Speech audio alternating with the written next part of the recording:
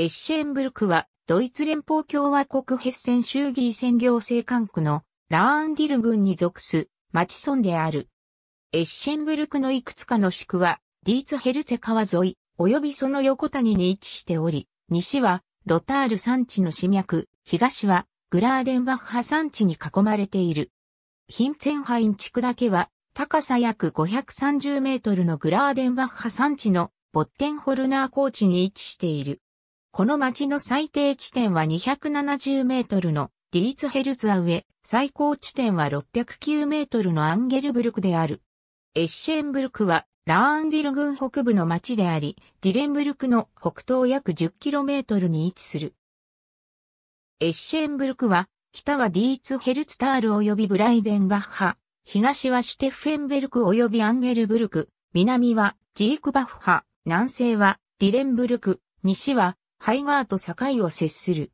エッシェンブルクには、アイベルスハウゼン、アイアースハウゼン、ロート、ジンマースバッハ、ビッセンバッハ、ヒルツェンハインの各地区がある。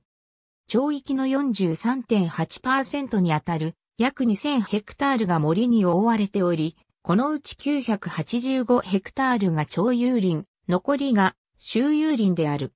この町域における定住は、出土品に基づき、ケルト時代に遡ることが証明されている。最初の文献記録は13世紀に残されている。古くからすでに様々な場所で銀、ニッケル、銅、鉄といった鉱石やスレート、気力岩が採掘されていた。これは、精錬所や炭造工場といった産業部門の設立を促した。比較的新しい時代では、考古学発掘により、ビッセンバッハ地区で中世の森の鍛冶屋の基礎が発見され、ベスタラーンタウヌス国定ジオパークの一部となっている。ヒルツェンハイン地区では、教師のエミール・シェファーが1923年に航空クラブを設立し、飛行場を設けた。自作飛行機での初飛行は失敗に終わった。1928年に飛行のパイオニア、マックス・ケーゲルが1時間を超える飛行に成功した。1932年、初めての公式な飛行コンテストが開催された。この飛行コンテストは1945年に廃止されたが、早くも1951年には第1回ドイツグライダー滑空大会として復活した。1962年にヒルツェンハイン飛行場は現在の場所に移転した。この町は1971年10月1日にアイベルスハウゼン、アイアースハウゼン、ビッセンバッハが自主的に合併して成立した。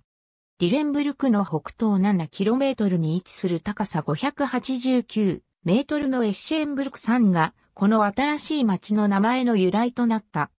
1974年7月1日に、ヒルツェンハインと当時ビーデンコプフ郡に属していた、ジンマースバッハトロートがこの町に編入された。アイベルスハウゼンはこの町最大の集落である。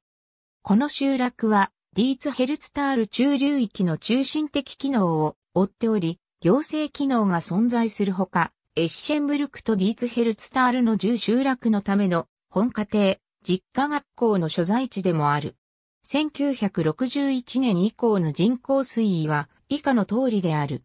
エッシェンブルク、町役場エッシェンブルクの町議会は31議席からなる。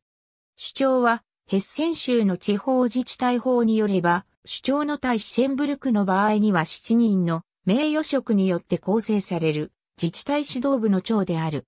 この町の町長は2005年1月1日から無所蔵のゲッツコンラートが務めている。その前任者は以下の通り、アイベルスハウゼンに郷土博物館があり、文化サークルエッシェンブルクディーツヘルツタールが展覧会や文化プログラムを提供している。ヒルツェンハインは750年以上の歴史を持つ集落である。世界で2番目に古い航空クラブがここで設立された。ジンマースバッハ地区のフィリップス・ブーヒエは、スペイン・ドイツに5年間にわたって捕虜となっていたヘッセン法博フィリップが1552年9月10日に帰還したことを記念したものである。エッシェンブルクには多くのスポーツクラブがあり、サッカー、ハンドボールから陸上競技や体操などまでほぼすべての競技を楽しむことができる。グリル広場やレジャー施設は各地区に存在する。森の学習路、遊歩道、鳥類保護、景観保護区がハイキングに公的である。ケッテンバッハ本社エッシェンブルクの大きな会社は以下のものがある。ホルダーベルクシューレ。ありがとうございます。